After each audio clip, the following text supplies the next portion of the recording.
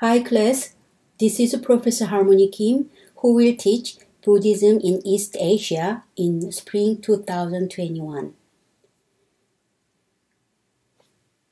This is the first class.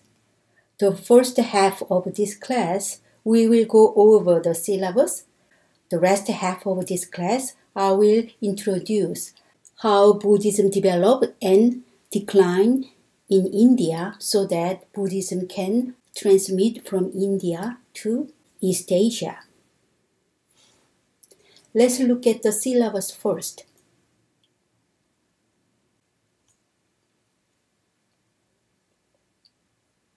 The course number of this course is BUD 305. It is a 4 credit course This course introduced the diversity of Buddhist ideas and practices in East Asia.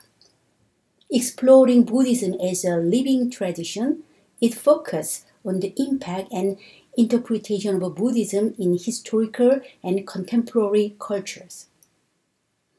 After developing a background in basic Buddhist philosophy, we explore Buddhism's cultural impact in literature, art, ritual, ethics, economics, social interactions, and politics. Upon completing this course, each student will be able to understand the development and decline of Buddhism in India. Students will discuss the reasons to cause the translocation of Buddhism outside the Indian continent. Also, students will examine and compare the characteristics of Theravada Buddhism and Mahayana Buddhism. Students will understand the Silk Road as a vehicle to spread Buddhism in East Asia. Students will able to discuss the different forms of Buddhism in East Asia. East Asia can be limited to Korea, China, and Japan.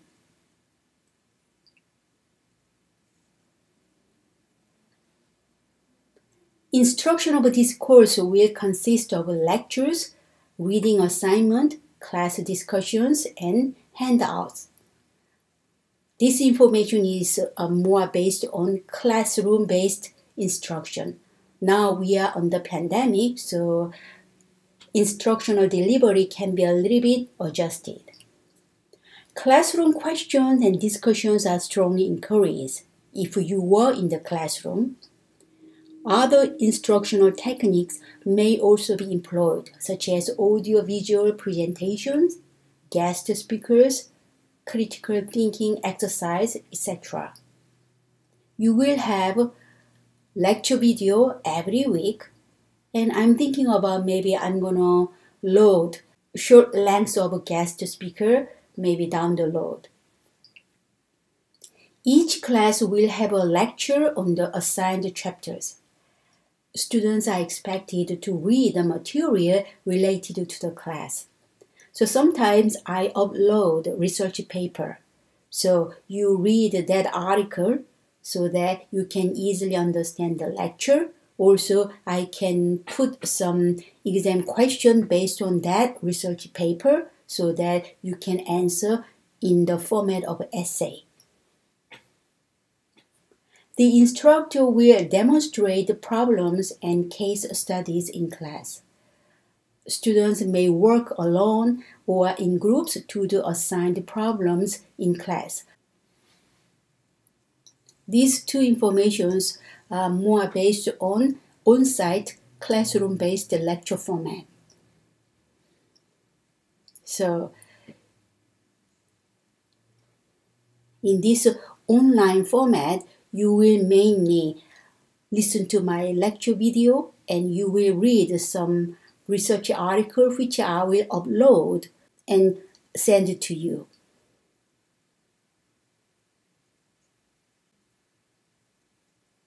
The required textbook, I chose two textbooks. One is Conceiving the Indian Buddhist Patriarch in China. So this is Studies in East Asia Buddhism. Author is Stuart H. Young. The other textbook is The Silk Road Journey with Xuanzang by written by Sally Hovey Wriggins. Additional textbook could be Great Doubt, Great Enlightenment, The Tradition and Practice of Ganhwa Son in Korean Buddhism, written by Haeguk Snim and other Korean monastics together.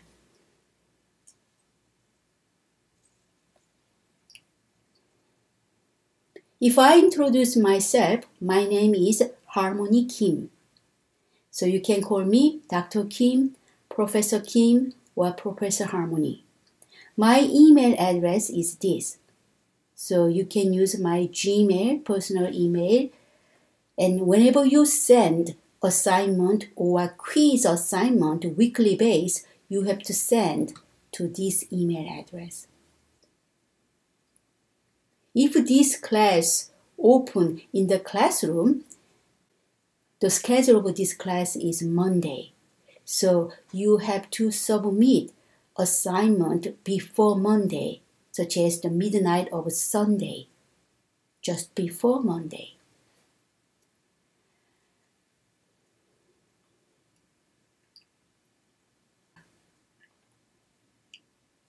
Students must send the above email weekly based for your assignment.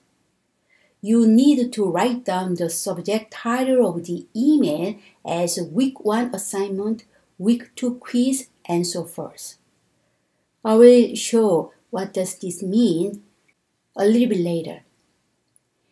If you have any question in addition to the assignment, please send me email with the subject title additional question on the email. So mm, mostly you will write down subject title with week 1 assignment, week 2 quiz, week 3 quiz, week 4 quiz, midterm answer, something like that. But in addition to assignment, if you have additional question, then you can write down additional question in subject title of email domain so that I can reply to you. Just in case if students keep asking the information which have been clearly addressed in the lecture video, I might now respond or delay replying. We are going over the syllabus. So if you listen to this lecture video, you can easily understand what you have to do. I already explained what you have to do, so please listen to lecture video. Then if you have any ambiguous part or if you have additional question, you can send me email at the time. Please put subject title with additional question.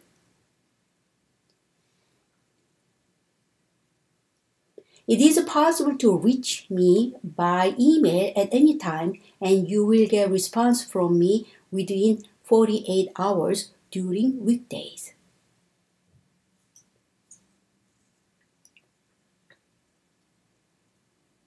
I reserve the right to change or modify any or entire syllabus and I will notify students of any change. Attendance policy, which is important. Please make every attempt to be in class during all sessions. Regular and punctual attendance as well as active student participation is an important part of a student's education. Attendance is strictly monitored. All missed assignment and or additional assignment must be completed according to professor's guideline. Students may not miss more than 70% of class sessions. Three consecutive absences require formal notice. UE West very strictly monitors students' attendance. So if you miss more than 70% of a class session, you'd better drop off this course. Also, you can absence three times of this course. But in case of three consecutive absence, it requires formal notice. You need to explain why you have to absence in three consecutive times. So keep in mind, how can I count your attendance, your assignment? You're supposed to submit weekly based assignment. If I do not receive your assignment until Sunday midnight, it counts your absence. Some students submit the assignment after due date.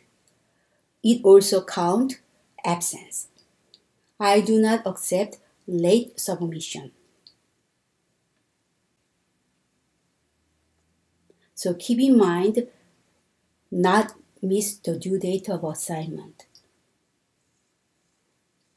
Participation policy. Each student is expected to be an active participant in submitting weekly based assignment to my email. Your class participation grade will reflect the quality and consistency of your contributions. Mere attendance does not represent participation. Frequent absences will severely impact your participation grade. As I told you just before, you're supposed to submit email every week. When you send email, this is the example of email format.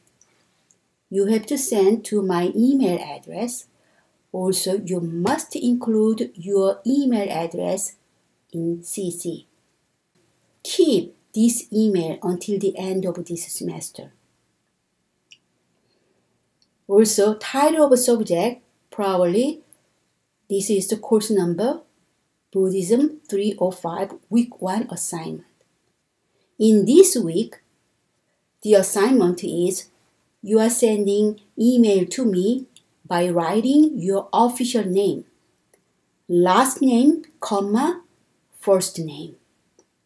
Then this is the assignment of this week. And once you send this email, I will count your presence, your attendance of this class. Next week, same format, send to my email, your email address written in CC, and subject will be Buddhism 305 week 2 assignment. This time probably next week I'm gonna give a quiz. When you listen to my lecture video, you will hear about quiz question. Sometimes two questions, sometimes three questions. So once you solve a quiz, this is the answer. So you have to write down your name first. It must be official name. My name is official name, last name followed by first name. Then you will write down the answer of quiz question. When you submit this email to me until the Sunday midnight, then I will count your attendance of week two.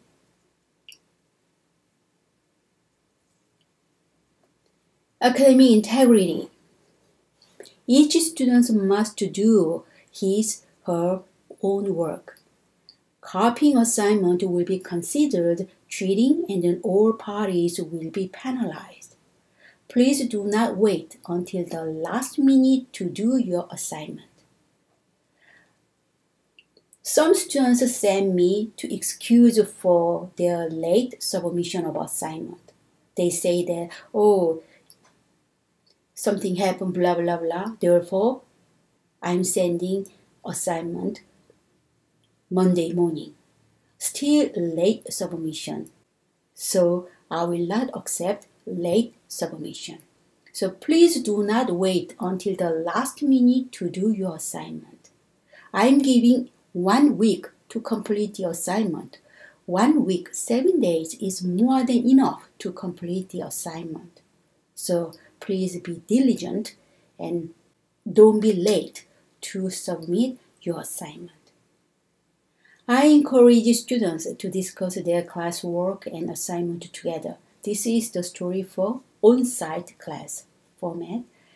You learn a lot from your peers since you go through the same learning process. However, after the discussion, each of you should work on your own assignment independently from scratch. One learns by doing, not by working together to print two copies. This is not learning. If any part of an assignment represents the world and ideas of others, you must cite those sources. Academic dishonesty includes, but is not limited to, asking a tutor or a friend to complete a portion of your assignment. Hiring a reviewer to make extensive revisions to your assignment. Submitting work originally submitted by another student as your own. Using information from online resources without properly citing your source copying any portion of a word or idea from any other source you do not cite. You might have an essay question probably in the final examination. At the time you need to write down short essay, maybe you can include some other person's saying, some other person's word at the time. If you include citation, then you are okay. But if you copy any word from any other source you do not cite, then that will be problem. So this part is more like uh, when you have an essay question, okay, and then the above paragraph is related to on-site, the classroom-based situation.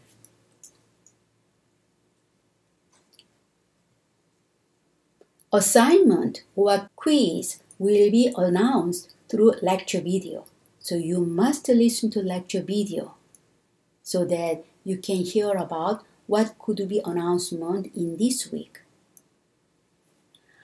The due of each assignment is until Sunday midnight of following week because uh, this course is supposed to open on Monday all assignment must be turned in on the due date by email. Again, no late submission will be accepted. When you send the assignment or quiz weekly base, you must put your email on CC so that you can keep the copy of every email of submitting the assignment. So this semester consists of 10 weeks or 11 weeks. If we include labor holiday, it will be 11 weeks. So if you keep 10 times of email in relation to turning in the assignment, then sometimes you can show how many times you attend this class by counting the number of email which you submit to me. In the body of email, you need to write down your official name, last name, comma, first name, because many students use their email account quite different from official name. And when I give you final grade, I have to use your official name, not your nickname. So in the body of email, you have to, always you have to start with write down your official name. Write down last name, comma, followed by first name. Do not change the position of last and first name. Since there are many students register this course, some students' first name can be some other students' last name. So it is hard to find your name on the long list of a roster. Therefore, you must write down last name, comma, followed by first name. In the lecture final, you might have essay question all essay assignment must be typed. So in this case, assignment can be lecture exam. How can I evaluate your performance?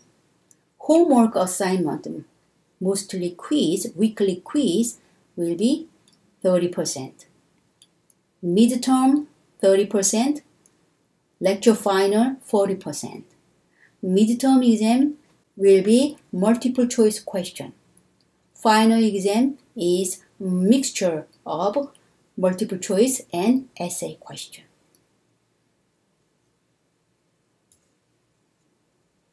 You can have either this A plus, A, A minus. So each group A, B, C, D, I can sub categorize into three A plus, A, A minus, B plus, B, B minus. This way.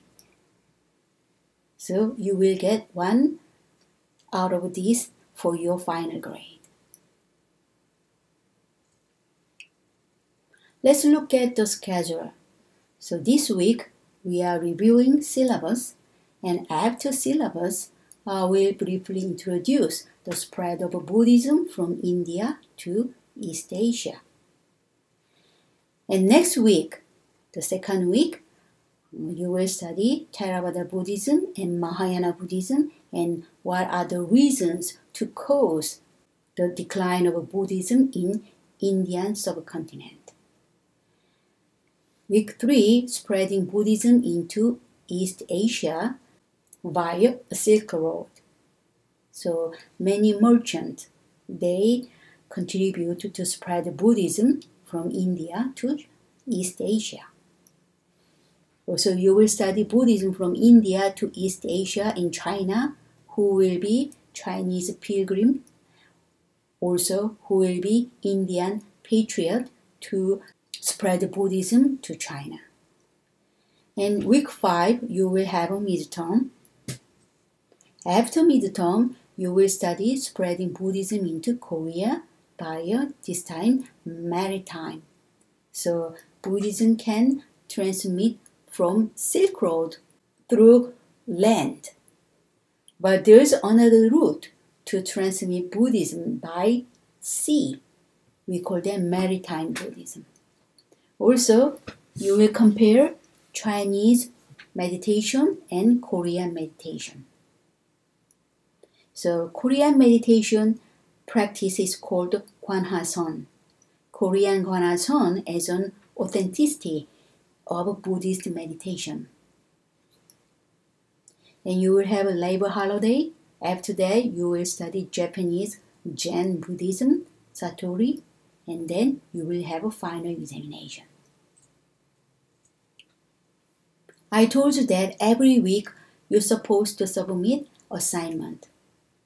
Again, you will send email every week. This is my email address.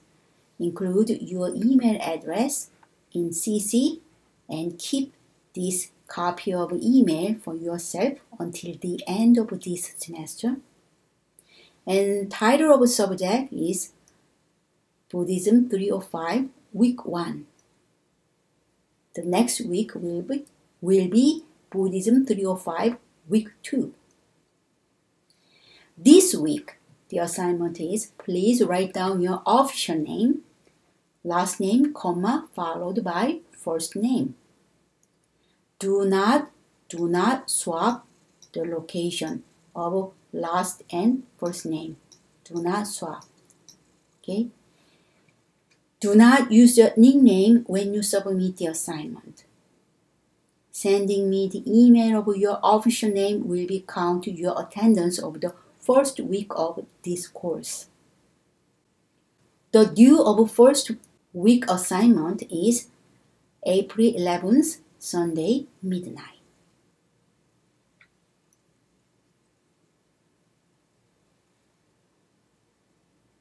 Okay, this is all for the syllabus. From now on, we will study Buddhism in East Asia in terms of spreading Buddhism from India to East Asia.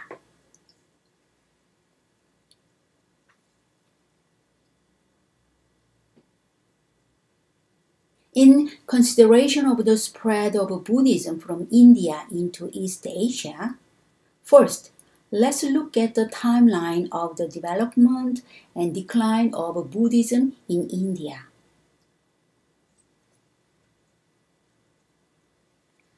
So Gautama Siddhartha Buddha, born and found Buddhism around this 563 to 483 BC.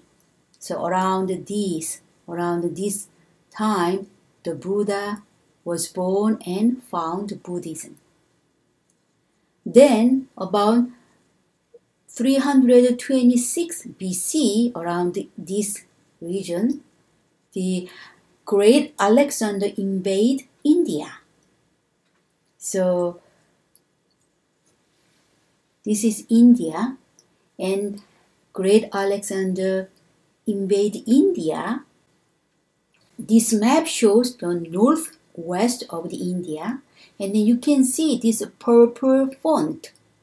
This purple color font indicate the cities founded by the great Alexander after invading and conquering India.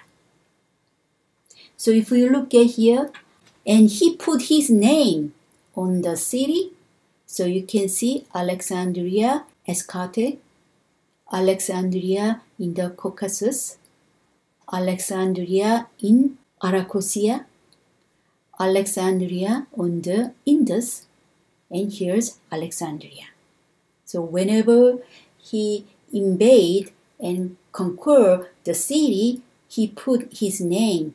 So these are the, the purple color, this dot indicate great Alexander invade and conquer the India. And you can see here uh, Taxila, here Taxila.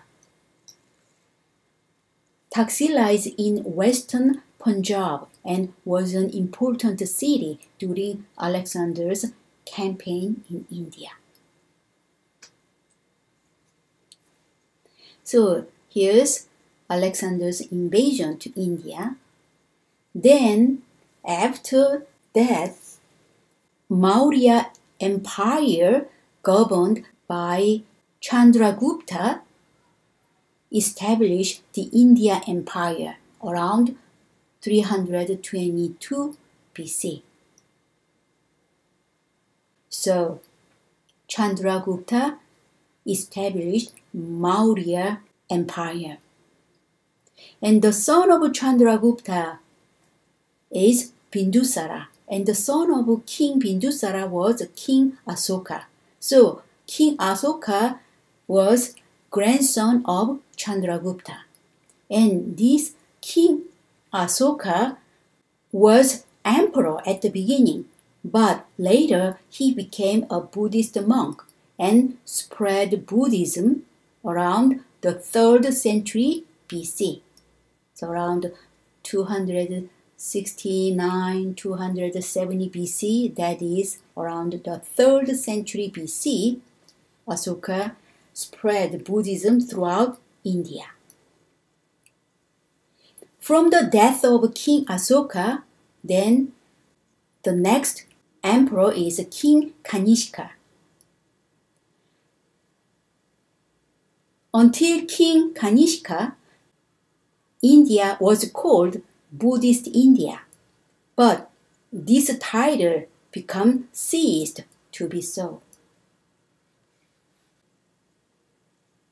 When the Chinese pilgrim whose name is Faxian, traveled in India in the early years of 4th AD, around this area, around this time, 4th century AD,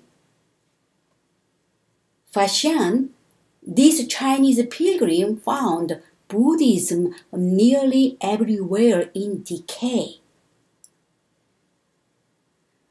Then the Hun located north to the India, HUN, the Hun invade India and destroy monastery and suppressed Buddhism in the 6th century AD. So already passed here. So 4th AD, Chinese pilgrim observed that Buddhism in decline, and in 6th century AD, Hun invaded India, and the 7th century AD, there is another Chinese pilgrim named Xuanzang traveled in India, and Xuanzang encountered many non-Buddhists in the early years of the 7th century. So during 700 up to 1200 AD, the Indian subcontinent was divided among numerous kingdoms throughout the first millennium until the formation of the Gupta Empire. Decline of Buddhism in the India was not a singular event. It was a centuries long process. And in the 11th and 12th century AD, which is not appear in this map, Muslim invade India and this invasion, Muslim invasion, virtually extinguished Buddhism in the Indian subcontinent and in Central Asia. Sometimes I will introduce a timeline with BC AD and then BC is equal to B C E. Same meaning. Also, AD is equal to CE, Common Era. BCE means before Common Era. So BCE, same meaning of BC, CE, same meaning of AD.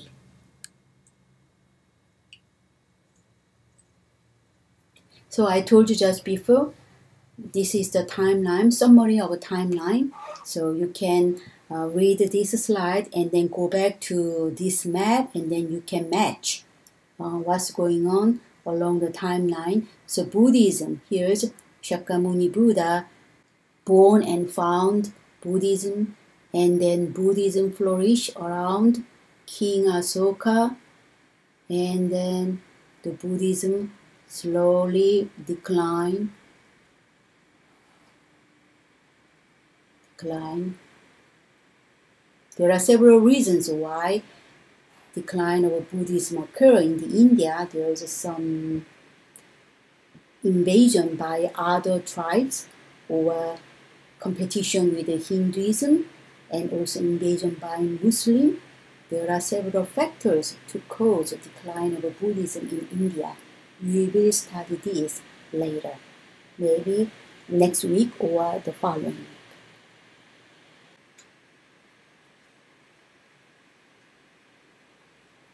Let's look at the map of India along the timeline.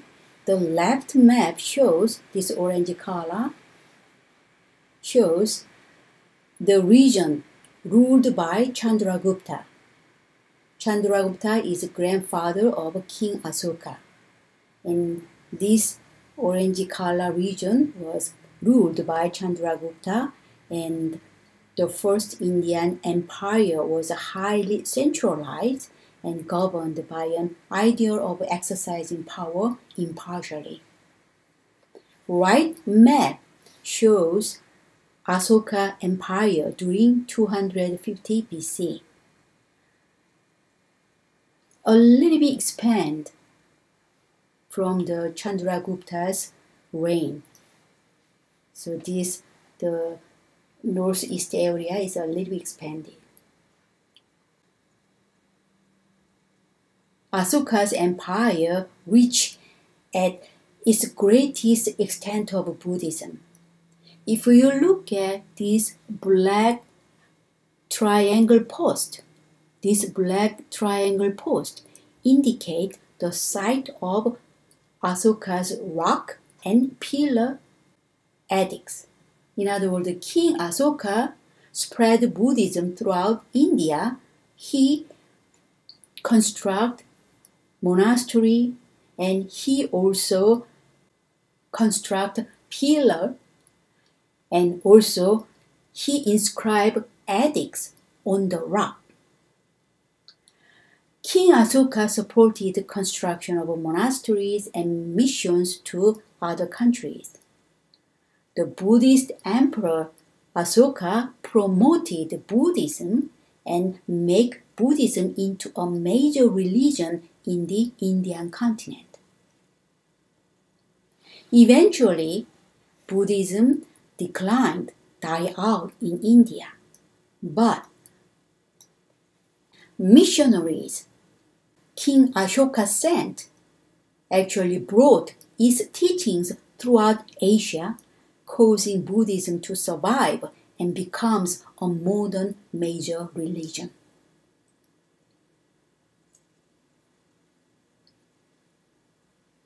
Let's study King Asoka a little bit more. Again, he is a grandson of Chandragupta. King Ashoka gained control of all but southern tip of India through intense fighting. So, except this southern tip of India, the rest part of Indian continent governed by King Ashoka. Since he had many times better, so he is described as bloodthirsty, but at the same time, he carries compassion to others. Ultimately, he converted to Buddhism and spread Buddhism throughout India. King Asoka communicated his policies throughout his realms by inscribing edicts in natural stone formation and pillars. The edicts promoted Buddhist values and expressed his concerns to rule fairly, justly, and humanely. In the edicts, there is not a word about God or the soul, even not a word about Buddha or Buddhism. The statements are self evident to all the subjects of the empire. Here are the examples of edicts inscribed on the rock by King Asoka.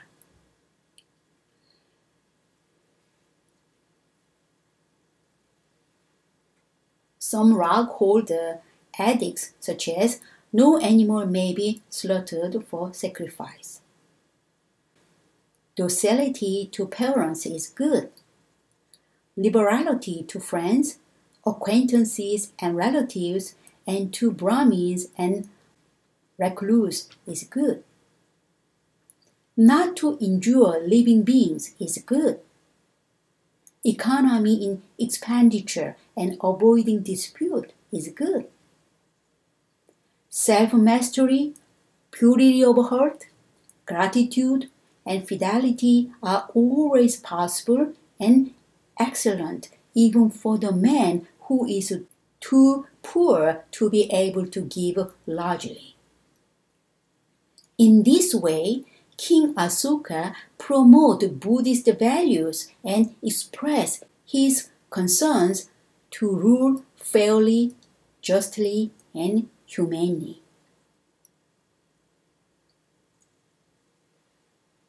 I mentioned that King Ashoka supported the construction of a monastery.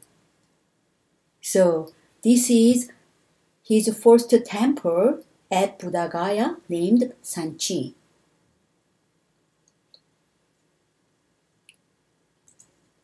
And left panel shows inside the Sanchi temple and right panel shows the gate of Sanchi Stupa. So this part. This part, the gate of Sanchi Stupa, appears here in detail.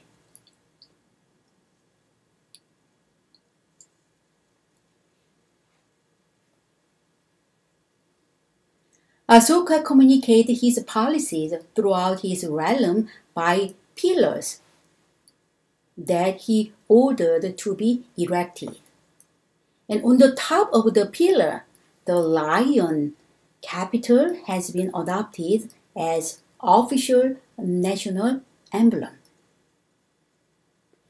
King Ashoka also sent missionaries across India to spread Buddhism. Therefore, paving the way for the spread of Buddhism into Asia. This upper panel showed the route of missionaries inside India. So the missionaries was sent from India to Sri Lanka. The lower panel showed the missionaries outside the India. So you can see here into China, even sometimes by sea it goes Southeast Asia.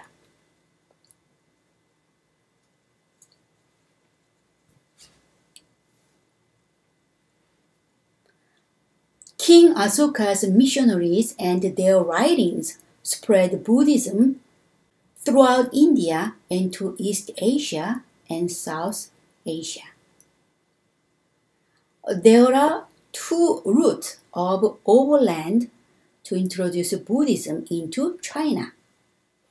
So, maritime Buddhism, we will consider that later. Here, you just think about land route. So, here's India, and then one route is northern route. Here's Taklamakan Desert. So, northern fringe of desert Taklamakan passing Kucha, Karashahr, and Turfan. And south route is southern fringe of desert Taklamakan, so this route, and passing Khotan and north route and south route merge here in Dunhuang. So we will study later where is the important Buddhist center in southern route and also where is important Buddhist center in northern route where we can find many Buddhist literatures.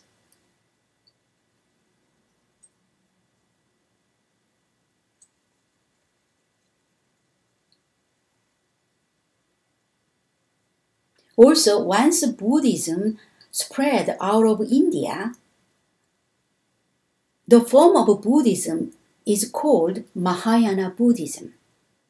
So, how's the difference between Theravada Buddhism and Mahayana Buddhism?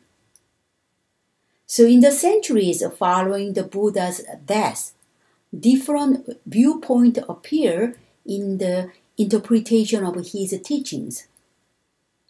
By the first century AD, two forms of Buddhism emerged. One is Theravada Buddhism, the other one is Mahayana Buddhism. Theravada Buddhism is the name given to the tradition that most closely follows the teachings and traditions established during the time of the Buddha and in the following centuries. It means teachings of the elders. Theravada Buddhism sometimes called Southern Buddhism because it is mainly practiced in Thailand, Cambodia, Burma, Laos, and Sri Lanka.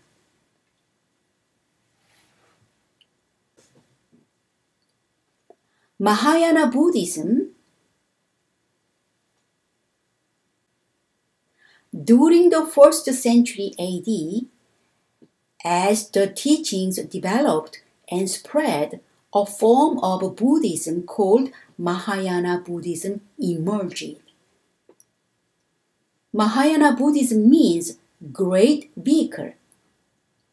In the Mahayana tradition, there is a belief in bodhisattva. Bodhisattva is beings who are on the path to becoming Buddha, but bodhisattva chose to delay their final release from rebirth out of compassion to help all creatures.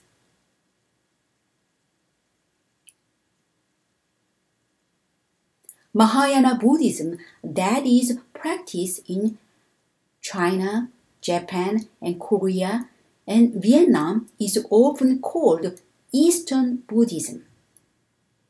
Mahayana Buddhism that is mainly practiced in Tibet, Mongolia, Bhutan, parts of China, and the Himalayan regions of Nepal and India is often called Northern Buddhism.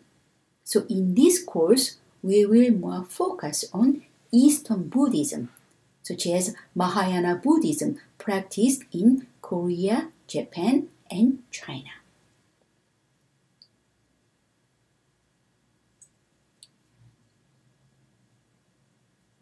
Then let's think about when and how Mahayana Buddhism started to, to arise. It sounds like Theravada Buddhism is more like very closely, almost the same of the Buddha's teaching. Then, what caused Mahayana Buddhism to arise? And when has Mahayana Buddhism start to begin? After 100 years after the Buddha's parinibbana, parinibbana means Buddha's death. So after 100 years after the Buddha's death, there is some monk called Vajji monk, modified minor rules so some monk, group of monks called Vajji monks, they claim to modify some disciplines. Ten kinds of disciplines.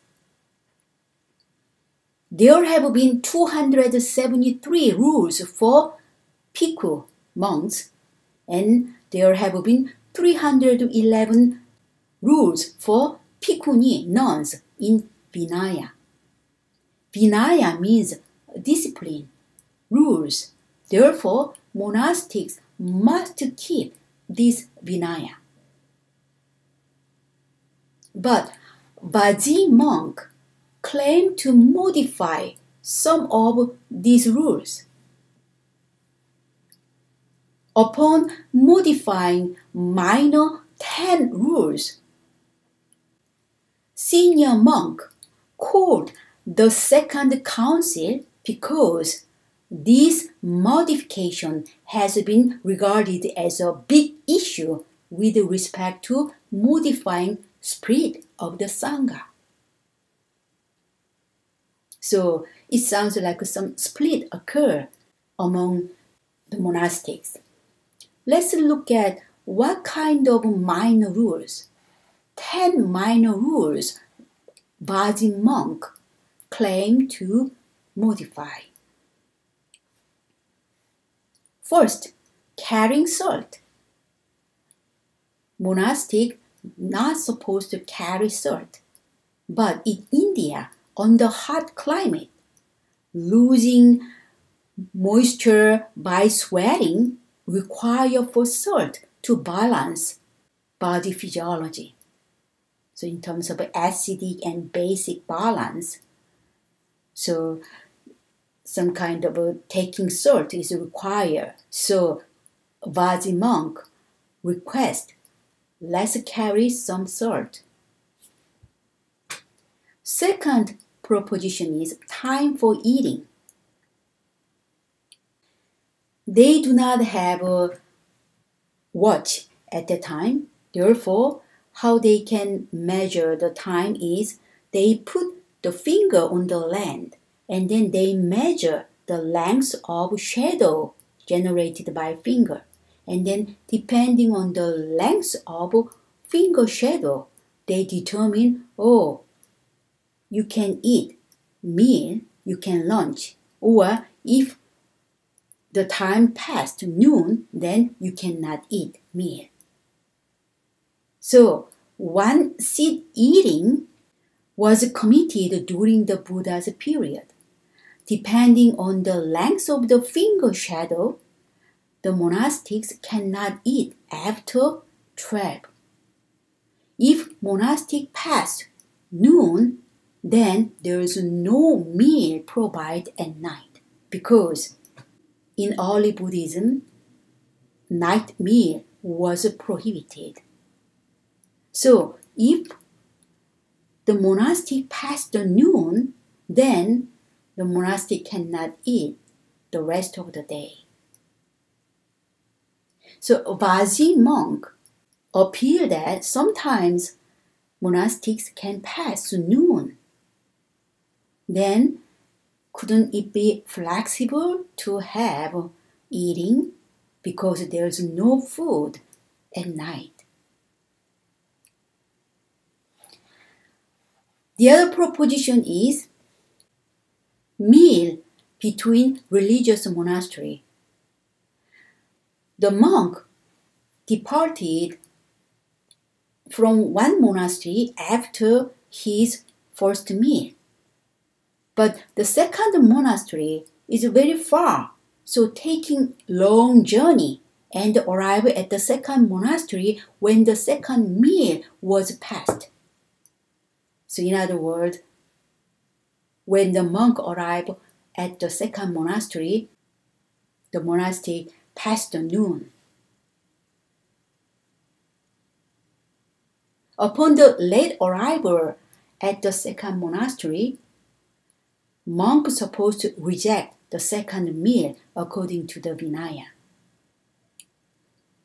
But Vajji monk claimed that because of distance and also hot weather, it's very not easy to walk fast.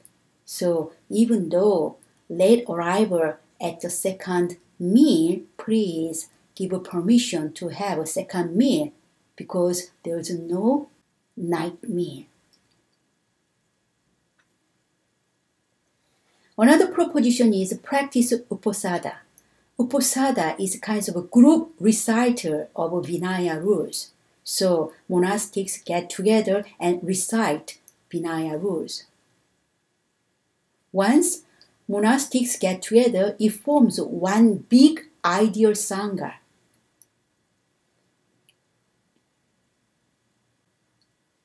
But Vajji monk suggests that we can divide one ideal Sangha into several groups because of long commute.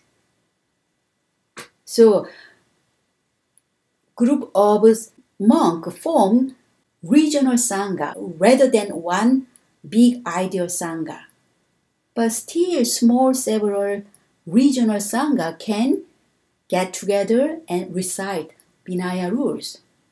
Then, senior monk disagree with that because if one big ideal Sangha divided into several groups of Sangha, this could cause the division followed by the loss of the unity.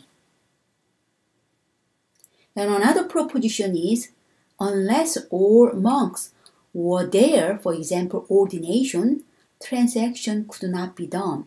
So for ordination, all monks need to get together. But sometimes some monks cannot come to the meeting due to punishment or some other things. Therefore, it's not very practical. So, Vajji monk suggests some other idea is in terms of more practical and based on efficiency.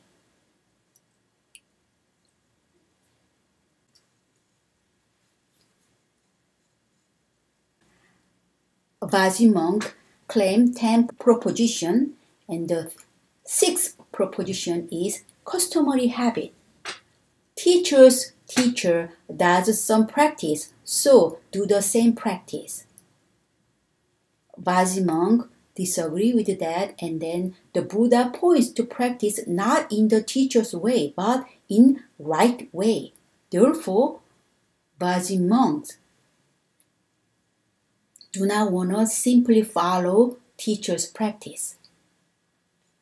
Another proposition is there's some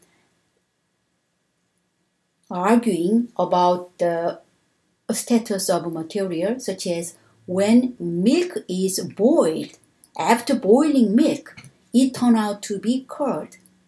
Is it okay to drink between neither milk nor curd? So, at night, monastic allowed to drink milk, but they should not eat something chewing. So drink milk is okay, but in terms of curd, you need to chew. That is not allowed. But when milk is boiling, then it turn out to be curd. So is it okay to drink in a mediate state between neither milk nor curd? So it's really minor things. And Vajji monks ask for the permission to be flexible to minor things. Another proposition is avoid to drink alcohol even for the medicinal purpose. Another proposition is robe without fringe, otherwise considered luxurious in terms of decoration. So when monastic wear robe, the edge of robe should not have a fringe because it considered be luxurious in terms of decoration. And acceptance of coin and gold and silver was prohibited. But Vajji monk asked for accepting these kind of things, uh, coin, gold, and silver.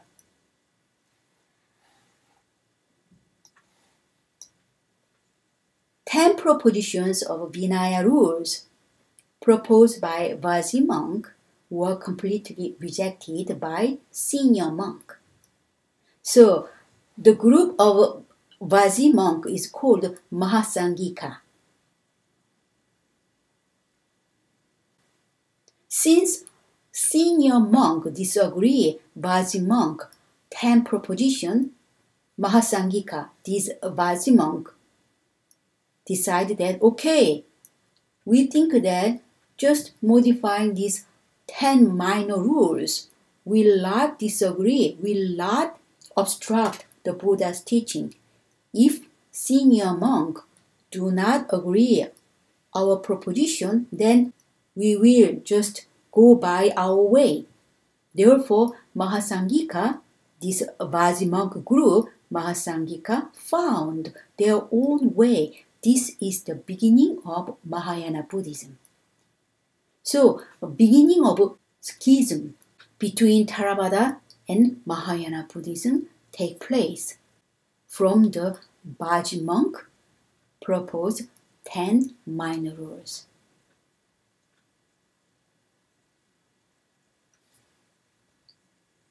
So these 10 minor rules is very trivial small things, but there's some split occur from Theravada Buddhism and Mahayana Buddhism start to go astray from Theravada Buddhism.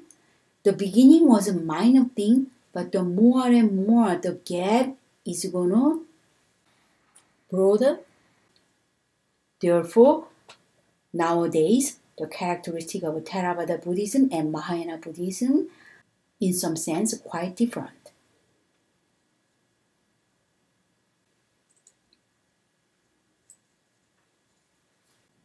So, around the first century AD, the spread of Buddhism from northern India along the trade route taken by merchants, monks, and travelers accelerated rapidly. to the north and east, Buddhism was transmitted to growing energy by the merchant who played a vital role in linking China with the Indus Valley. There were traveling merchants from the heart of Central Asia, classic middlemen whose own close-knit network and efficient use of credit left them ideally positioned to dominate long-distance trade. So this Silk Road is international highway. Along the highway, Buddhism can be transmitted. Also to the south, in the Deccan Plateau, squares of cave temples were built with stupas deep into the Indian subcontinent.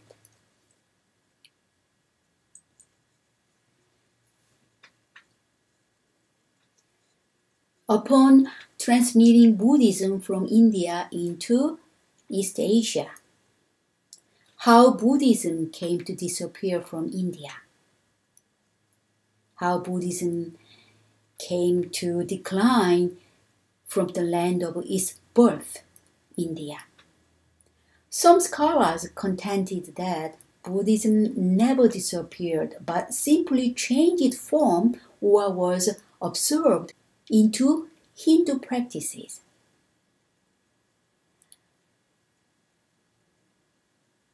Buddhism displaced as Turkish invasions destroy holy site temples.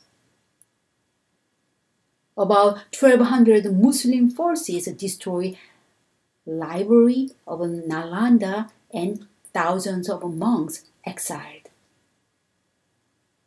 By the 7th century, Buddhism was declining rapidly. Theravada Buddhism nearly disappeared, while Mahayana Buddhism was absorbed into Hinduism and Islam.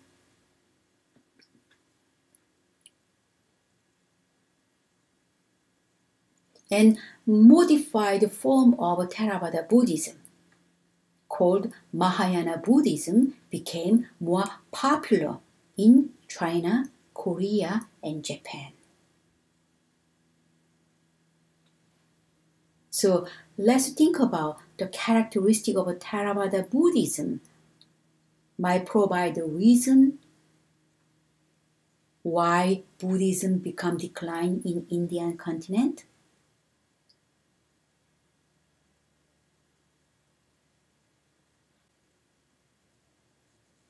If Theravada Buddhism transformed to Mahayana Buddhism in Indian continent, then Buddhism might not be disappear in India.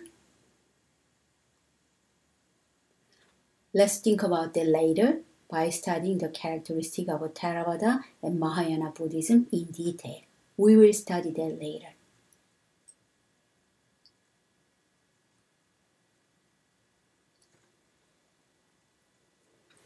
Before closing today's lecture, I'd like to introduce one school in India. The name is Nalanda University. The University of Nalanda has been built before the era of King Asoka. So before King Asoka, there was University of Nalanda. Probably it was monastery and later it became changed into university. Nalanda's traditional history dates to the time of the Buddha. It's about 6th, 5th centuries BC. And here is the location of Nalanda. And uh, it looks like this, this building and in Nalanda, Nagarjuna, he's the Buddhist philosopher, or Nagarjuna is called the second Buddha. And he lived during second and third century CE. and Nagarjuna studied in Nalanda University. Also, I mentioned the Chinese pilgrim. His name is Xuanzang. He's very famous. We will study him. Also, Xuanzang stay and study at Nalanda for some time during the 7th century CE.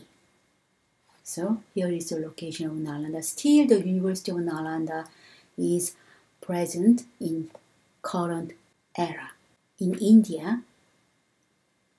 So you can visit Nalanda University.